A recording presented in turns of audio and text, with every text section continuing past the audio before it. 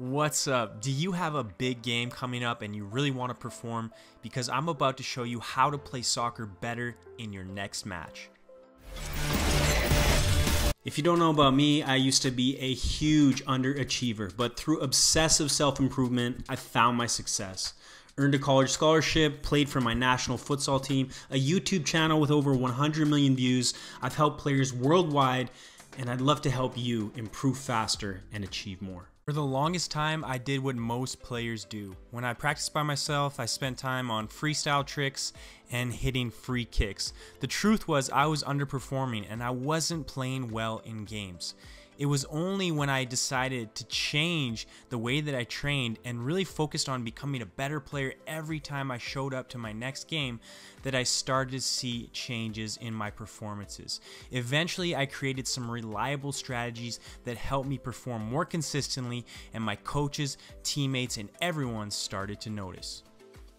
Let me show you five strategies that you can use to play better soccer in your next match.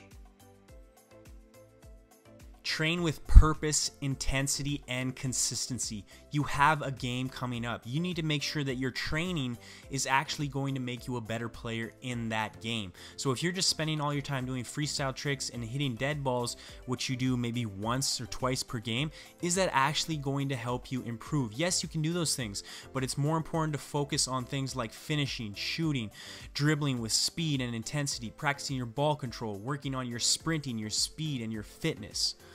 Make sure that you're using intensity. So if the drills are easy, you're going too slow, you're not pushing yourself, it's not replicating a match speed, and it's not going to help you in a game.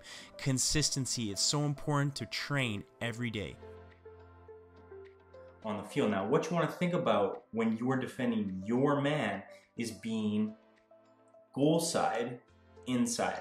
So, what I mean by that goal side, you are closer to your goal than the player that you are defending. Okay, so if I'm defending this player here, I'm responsible for him.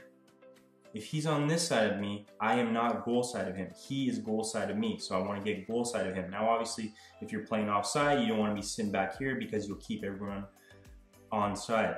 So if you're on that last line, then you can get up here. You force him to come up, but you still have to be aware of him. Maybe he's trying to be sneaky clever, okay? But in most situations, you want to be goal side. So closer to your goal than that player on the ball. Now you still want to be close enough to them that when they receive that ball, you're right on top of them. Okay, so number one, goal side, inside. So I want to be inside. I want to be closer to my net than him. So if he's here and I'm there, he is inside of me. So he is on the inside of the goal. He has a better opportunity to score. If I'm defending, I want to get narrow, tight to my other defenders. I want to be inside of him. Who is closest to the ball needs to press. Now, in certain situations, let's say somewhere up here where you're further away from your goal, if you like this content, check out the Soccer Success Planner. You can download it for free. There's a link in the description below. And for advanced training, check out the online soccer academy. You can press with more intensity. You can run in there really fast, risk it a little, risk getting beaten a little bit, and press with high intensity. In other situations, let's say you're in a one-on-one -on -one here, you need to be a little more cautious. However, you still need to close the space and not allow this player on the ball to make forward passes to get crosses into the box or shots onto your net. Okay, so if you are the closest player on the ball, you need to press, close that space down. Everyone else wants to think about covering. So press, if you're closest to the ball, you wanna press. If you're not closest to the ball, you wanna think about covering the next potential pass. Okay, so let's say the ball gets shifted out here. Okay, how does everyone adjust? So who is closest to the ball? This player is probably closest to the ball.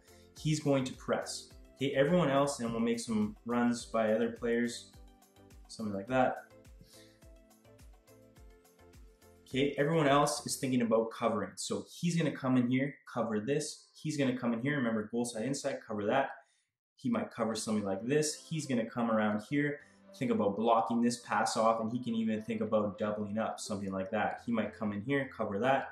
This guy's gonna get goal side inside like that. We're nice and narrow. Everyone's thinking about covering the next potential pass. So, so when you are attacking, do not stand still. Now, saying that if I have lots of open space, sometimes the best thing is to stand still. So you need to be aware of where the space is. If you are not in open space, you're getting defended, well then you want to think about your movement.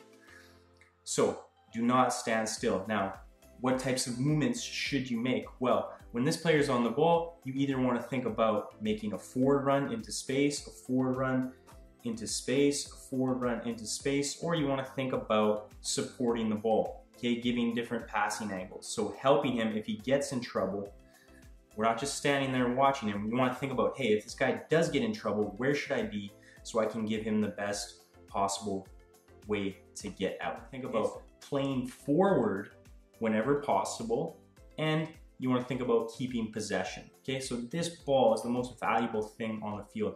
We want to keep possession. We do not want to give it away to the other team. However, if we are keeping possession and we're not making anything happen and we're just keeping possession and we're forcing ourselves to play deeper and deeper and getting ourselves into dangerous positions just because we want to keep possession, well, this can be a very dangerous game. Okay, so you want possession with a purpose. So in order to play with purpose, you want to think about every time I can get my head up, I want to play a forward pass. Now that doesn't mean just kicking it up the field and everyone run after it.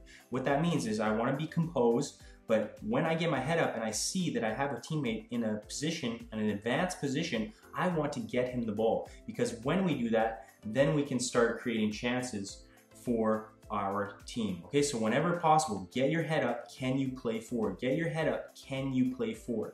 And when you have that mentality of always trying to play forward, always trying to create chances without risking, without forcing the play and giving the ball away, okay, if you realize that you're in a situation where, hey, this is really high pressure, I can't play forward in this position, well, now we will keep possession, we'll change the angle, and then we'll try to play forward again. Okay, so it's one thing to know what to do. It's a completely different thing to do it at match speed. So when you're in the game, focus on your speed of play.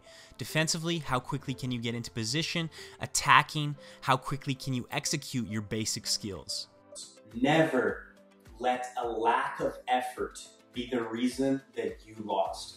If you were outperformed, you were beat by a really good team or a really good player, fine. That's life. You'll take that lesson and you'll learn from it. You'll get motivation from it. But never let the reason that you lost be because you chose to give up. You chose to not give your best effort. So, what does hard work look like? It can be closing players down, not giving them any time to play or get their head up, beating your opposition to the ball, and choosing to be strong on the ball, not getting pushed around. It means getting forward and tracking back when things don't work out.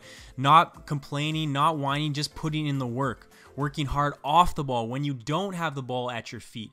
Making four runs to get in the box and tracking back to help out on defense. It's so important that when you're playing, you do not stop running when you are tired. You stop when the job is done. If you like this content, check out the Soccer Success Planner. You can download it for free. There's a link in the description below. And for advanced training, check out the online Soccer Academy.